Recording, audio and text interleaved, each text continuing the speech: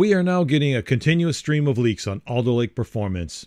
They all show significant single core gains and IPC increases, and the multi-core scores are also very impressive with the addition of those little cores.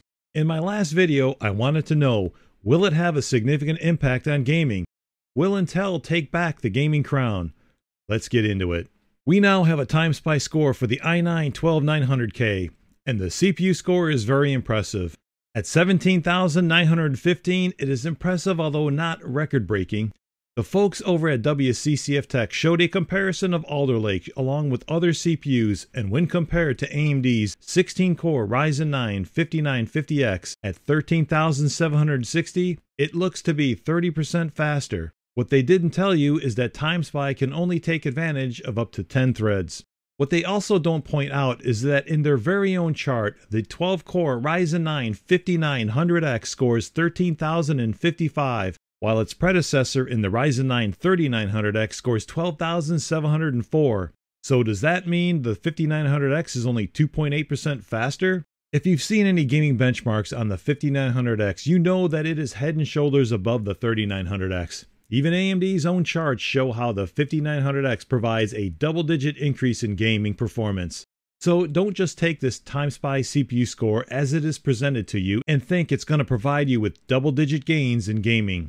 When Zen 3 was announced a year ago, we saw some incredible gains in single core performance scores that just left Intel in the dust. It was the first time we saw Cinebench R20 single core scores break 600 with a score of 631, while Intel's i9 was at just 544.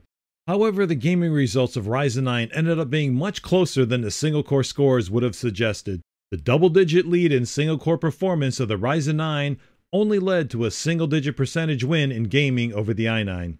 So, what does all of this mean? The TimeSpy CPU score is not to be taken as a strong indication of gaming performance. What it does do is to continue to reinforce Alder Lake's IPC improvements.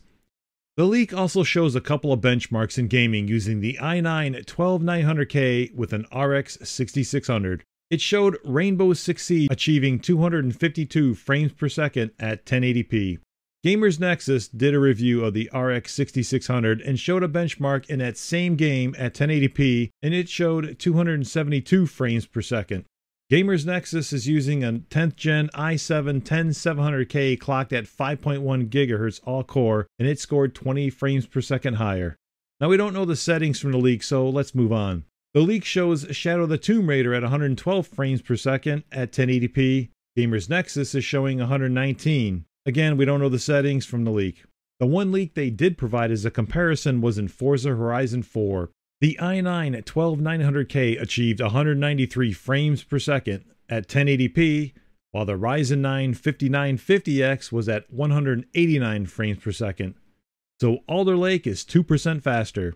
And I suspect that when the launch day reviews go live, that the Ryzen 9 to i9 Alder Lake comparisons will show similar differences, or should I say similarities, just single digit performance differences in games. Why? At this point, I know many of you are thinking, didn't you see those amazing benchmark scores? Look at the incredible IPC increases. Yes, they are all really good, however, where are the gaming benchmarks? Does anyone remember the build-up for Rocket Lake and that Intel's 11th generation CPU was going to take back the gaming crown? The Cinebench R15 R20 leaks showed better multi-core performance, the Cinebench R23 leaks showed better single core and better multi core performance. Couple that with the huge improvement over Intel's 10th generation in Comet Lake, and it was a certainty that Rocket Lake was going to take back the gaming crown. Except it didn't. Rocket Lake launched and it provided a minimal improvement in gaming. It did not take back the crown from Ryzen. Steve over at Hardware Unboxed did a big 32 game benchmark comparing 8 core CPUs in the Ryzen 7 5800X versus Rocket Lake's i7 11700K and the previous gen Comet Lake i7 10700K. His testing was with an RX 6900 XT at 1080p, and it showed the 5800X was on average 5% faster than the 10th gen Comet Lake i7 10700K. When compared to the 11th gen Rocket Lake i7 11700K, the 5800X was on average 4% faster. Thus, Rocket Lake closed the gap by 1% in gaming. all those leaks before showing impressive computing and IPC improvements, and yet, even with the RX 6900 XT at 1080p, it provided just a 1% improvement in gaming. Why? Memory latency. Intel did not use the same integrated memory controller from 10th gen Comet Lake. No, they carried over the new integrated memory controller from Sunny Cove, where they implemented the new Gear 1 and Gear 2 memory modes. The memory latencies in Rocket Lake were generally higher than in Comet Lake or any previous iteration of the Skylake architecture. You can increase the throughput within the CPU to have higher IPC, however, you also need to decrease the time to access the RAM as well. Memory latency can have a significant effect on gaming performance. By the way, if you like content like this, hit that like button and consider subscribing and let me know in the comments below if you are looking forward to Alder Lake for better gaming performance. AMD has been working hard to reduce latency every Zen generation. One of the ways to hide the effects of latency is through the use of larger amounts of L3 cache. AMD has been increasing the cache on their CPUs every generation. And who remembers game cache? The Ryzen 9 CPUs contain 64 megabytes of L3 cache.